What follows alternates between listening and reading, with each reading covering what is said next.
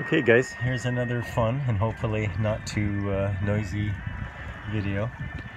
Uh, noisy because of the wind as usual. But anyhow, we left uh, Gibraltar um, Thursday the 5th. It's now the 9th, December the 9th, Monday. So we've been at sea for four days. Oh dear. What a waste. So this is exactly what it's like. We've been at sea for four days, haven't seen much of anything, hardly even any other ships coming this way. So we've been all alone, and then all of a sudden, on the horizon, Porto Santo, part of the Madeira Island group, appears. And uh, Madeira, it's visible. I don't think you can see it with this phone camera, but it's there. I can see it with uh, with my eye, just off further south. So all of this here is Porto Santo, and uh, they look like they're enormous mountains, extremely mountainous islands.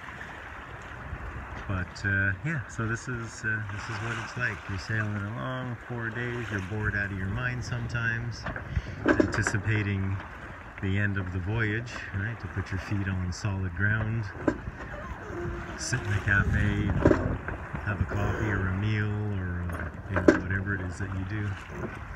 You're waiting for it, and all of a sudden, boom, there it is. Totally changes the, the mood on board.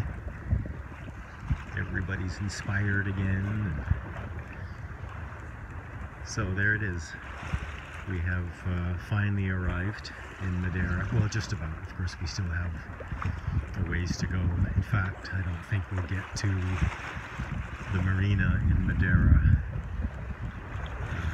the marina that we've chosen in Madeira, until the wee hours of the morning. So we're going to check it out and see if we can get into the marina in the dark safely. And according to the guidebooks, it's fairly straightforward to do, like unless you're in stormy seas.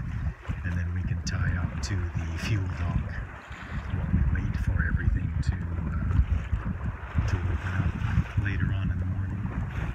Or we may very well just have to uh, float around offshore for a little bit until the sun comes up and we can see our